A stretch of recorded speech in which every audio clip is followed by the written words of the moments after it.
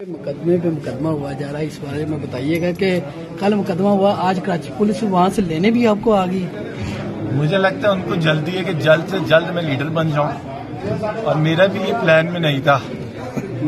मैं तो था कोई एंजॉय करने की ज़िंदगी, लेकिन इन्होंने कहा जल्द से जल्द। लेकिन ज़ाहिर है पाकिस्तान के लिए कह रहे हैं। जिहाद समझ के कह रहे थे, पहले भी इसको स्वाब समझे, अभी भी स्वाब समझ रहे हैं। कभी भी अपने मुल्क के लिए किया, जो किया इस मुल्क में रहने का सोचा, इस मुल्क में ही मरना है, कोई रुपया एक भाई नहीं है। हमारा जब डॉलर बढ़ता, नुकसान होता है। इन हुक्मरानों की तरह नहीं, जिनका डॉलर बढ़ता है तो इनकी ईद लगती है। तो हम तो इधर ही हैं। और इन लड़ेंगे, आखिरी दम तक लड़ेंगे। ठीक है। ये भी कराची वैसे देखा था जेल के बाहर से देखा था, अब जेल के अंदर से भी कराची देख लेते हैं। उम्मीद है कि मज़ा आएगा।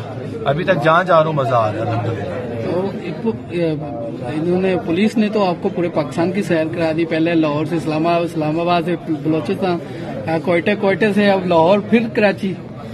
रूट बड़ा अजीब बताया है। मेरा था कोयटा से कराची जाऊँगा फिर लाहौर आऊँगा। लाहौर आखिरी होना चाहिए था। चलो कोई नहीं कराची से। कराची भी पाकिस्तान है। क्या पैगाम देना चाह रहे हैं? हार नहीं किसी ने माननी और मेरा खास तौर पे मेरे छोटे भाई सारे पकड़ लिए इन्होंने, अजहर मिशवानी को पकड़ा हुआ है। लापता है। मैं कह मेरी रिक्वेस्ट है, छोड़ दें यंग लड़की हैं। नीयत साफ़ है इनका जीना मरना पाकिस्तान है। आपसे गुजारिश है इनको छोड़ दें। ये यंग लड़के, इनके पीछे उस तरह कोई स्ट्रॉन्ग बैकग्राउंड नहीं है। इनका कोई बड़ा, कोई ऐसा खानदान में इतने बड़े नाम नहीं जो इनको उस तरह कर सके। तो मेरी रिक्वेस्ट है अगर आपको उनकी कोई बात बुरी लगी है, उसकी माजत हम कर लेते हैं, लेकिन पर्चा दे दें, उनको सरफेस पे ले आए।